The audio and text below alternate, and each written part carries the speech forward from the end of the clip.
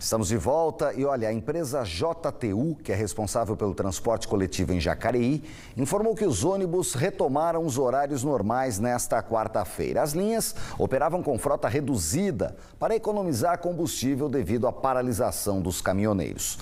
Mas outros serviços na cidade ainda operam com funcionamento parcial. O SAI, por exemplo, atende apenas casos emergenciais, como o retorno de esgoto nos imóveis ou a falta d'água. Já a coleta de lixo permanece em horário reduzido. As obras do contorno sul na rodovia dos Tamoios, em São Sebastião, e a duplicação da rodovia se mantêm suspensas nesta quarta-feira. Os trabalhos foram paralisados na segunda por falta de insumo, matéria-prima e também combustível decorrente da greve. Segundo a concessionária Tamoios e a construtora Queiroz Galvão, as atividades devem ser retomadas na próxima segunda-feira. Já a Prefeitura de Aparecida informou que a entrega das cestas básicas dos projetos sociais da Frente de Trabalho foram prejudicadas por conta da paralisação dos caminhoneiros. Elas deveriam ter sido entregues no dia 20. Não há previsão até agora para a normalização do serviço. E olha, a quarta-feira promete ser de sol e temperaturas amenas, hein? Vamos conferir a previsão do tempo.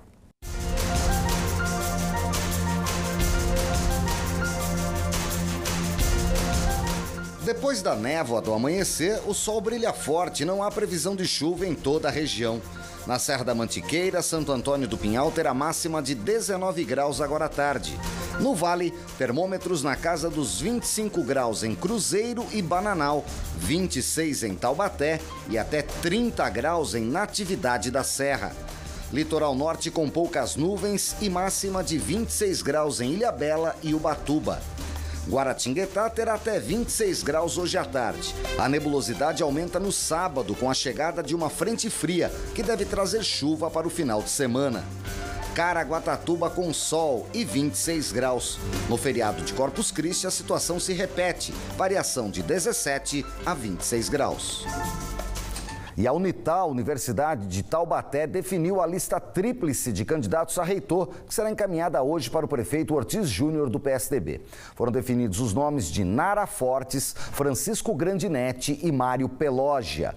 O Colégio Eleitoral Especial reúne os conselhos universitário, de ensino e pesquisa e também de administração.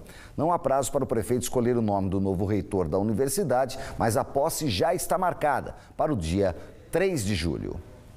E a gente encerra aqui o Band Cidade. Obrigado pela sua companhia. Vem aí o Tony Blade com mais notícias no Vale Urgente. Vai falar sobre um agente penitenciário que reagiu a um assalto, baleou os criminosos. Foi em Taubaté os detalhes na sequência da programação da Band.